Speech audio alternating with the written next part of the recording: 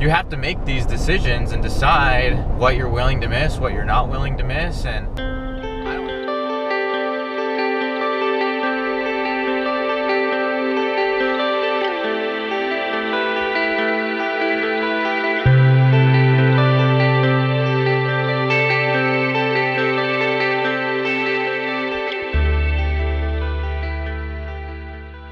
about to go into the garage and uh, pour some jigs. I'm hoping I can sell them on Instagram. You know, it takes a sacrifice to do everything I'm trying to do, to fish as much as I am, to travel around and fish these tournaments. Um, it takes a sacrifice not only while you're gone and the time off and the time away from home, but it also takes a sacrifice when I am home because I'm trying to, you know, make tackle or make weights or jigs or whatever to sell to tackle shops or to sell to you guys so that I can continue on and continue to do these tournaments so that hopefully one of these days I can fish professionally.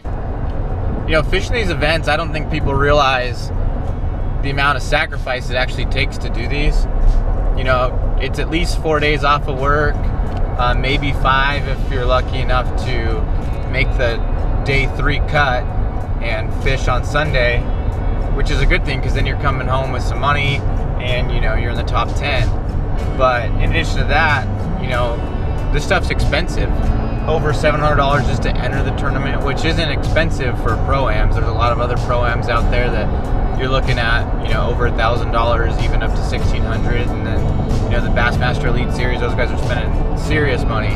But for a guy like me, working full-time, you know, having to take off work, gas money, travel, tackle, lodging, all of it, you know, it takes a lot of support from my family to do this not financial support, but more from my wife holding it down while I'm out of town doing these things. You know, it takes a lot. It's not just going around fishing everywhere and having somebody else pay for it because I'm paying out of, out of pocket for all this. This journey comes with sacrifice. For example, when I went to Havasu, I had to miss my daughter's first ever like student of the month where she gets recognized in front of the entire school for how well she's behaved in class and you know it's just a, it's a pretty cool little honor that that the school gives out and I had to miss it to go to Havasu. You have to make these decisions and decide what you're willing to miss, what you're not willing to miss and I don't have control over when a tournament is scheduled or not.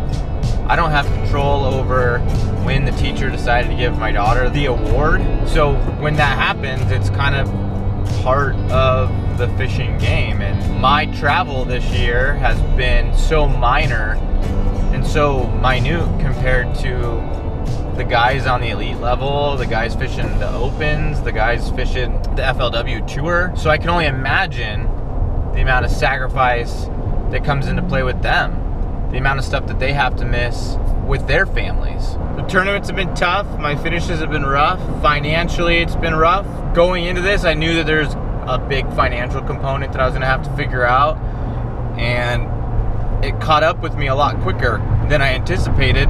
And unfortunately, it looks like I'm not gonna be able to finish the season like I was hoping for.